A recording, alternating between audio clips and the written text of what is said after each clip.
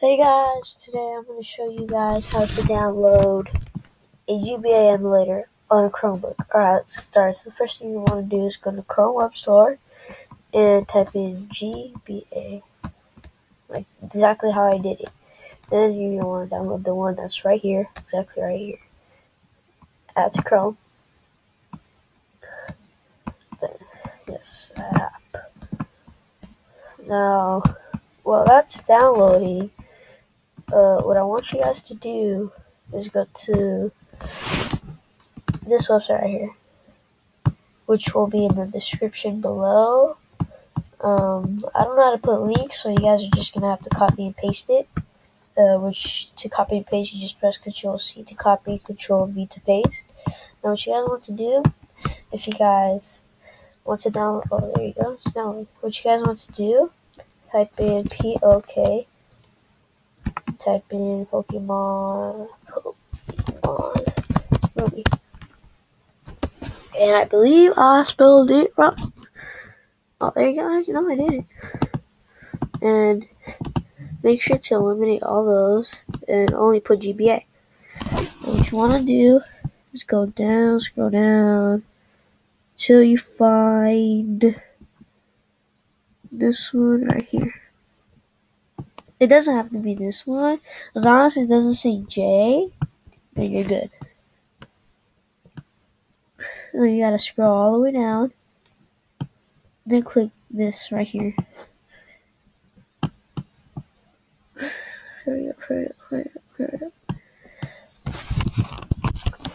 Now, what you want to do is when you click on something, it will tell you you have to put in a code and make sure you put whatever code it says to, to put in in this box. Uh, I think it says uh, LD. Did I say cold?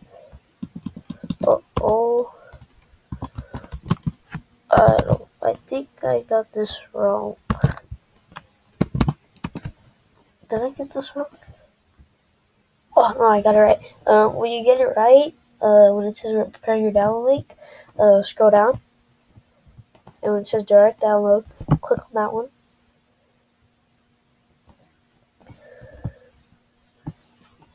see now while well that's uh while it's downloading, um, go ahead and go ahead and exit out of that tab and go to the GBA app. Now press Control Circle to open it wrong. Now it's still downloading, so how it's doing.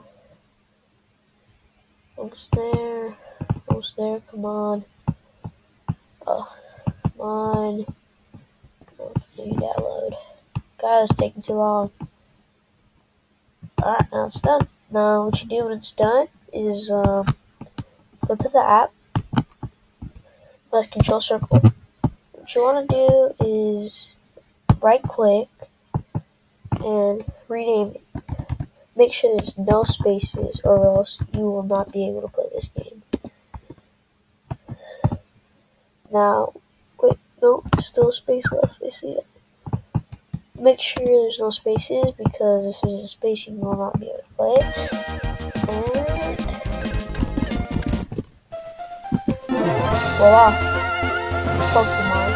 So, there we go. Um, that's how you download a GBA emulator and Pokemon Ruby. Alright, please, please subscribe and like this video.